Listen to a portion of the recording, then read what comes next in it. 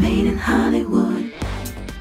Claes Bang and Elizabeth Debicki find themselves embroiled in the art heist of the century in the thrilling drama The Burnt Orange Heresy. Hi, I'm Claes Bang, Uh, hi, I'm Giuseppe Capotondi, and you're watching Made in Hollywood. and this is a scene from the film. You're not really how I imagine an art critic would look. Can't tell me you never wanted to paint. Seriously, what did you want to be when you were a kid? I was never a kid. You're one of those. On a wedge. A liar. Yeah.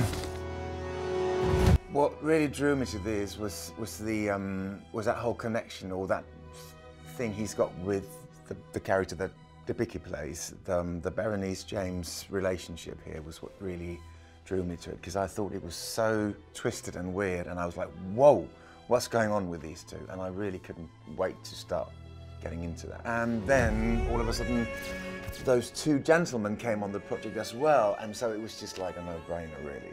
You got rich friends. If you could interview any living artist, who do you think it would be? At the edge of my property, there's a dilapidated little house. In this house, there's an artist. No critic has spoken to this guy in over 50 years. I think we need the role of the critic. Um, you know, n- not everybody has the uh, have the uh, tools to, you know, d- decipher uh, art, for example, or films. But this, it's not a critic about the art critic. It's about a s one in particular, art critic, who's uh, not very good. You could be running a major museum soon. And why would you do this for me? I'd value a Debney James. And I'd like you to procure one for me. She's at a point where she's sort of slightly trying to run away from something that's happened or come to terms with it or just get a break from it and perhaps try and and and see it from from the outside by getting a break from it. And his I mean he is in a situation that that he's got him, gotten himself into. So, so, so the past is very much something that's transported him to here, and now he's really struggling to try and get back up to the surface, isn't he? But it's it's very much a case of you know sort of trying to escape something that's happened in the past for both of them in a way. But that's what we do, no? That's in real life.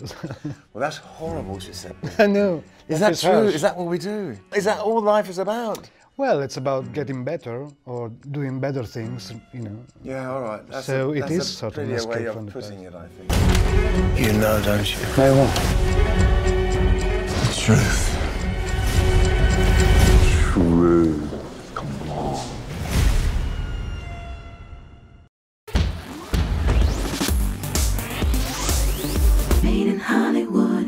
Guys, thanks for checking out this video. We want to know what would you have asked? Let us know in the comments below. And if you liked this video, don't forget to hit the like button. And as always, for more videos like this, hit the MIH TV logo right here. And for the next awesome video, click right there.